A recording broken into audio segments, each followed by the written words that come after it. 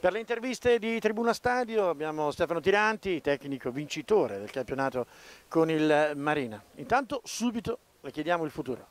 Futuro a Marina e sperando di proseguire questo, questo, questo, questa cosa che abbiamo già fatto l'anno scorso in maniera, in maniera positiva.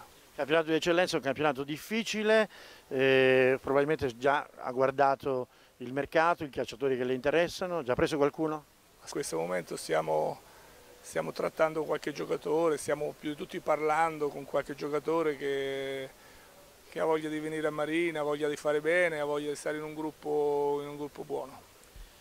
Un allenatore che vince un campionato, che prende anche un premio, giusto, un riconoscimento che viene anche dai suoi colleghi. Una soddisfazione particolare?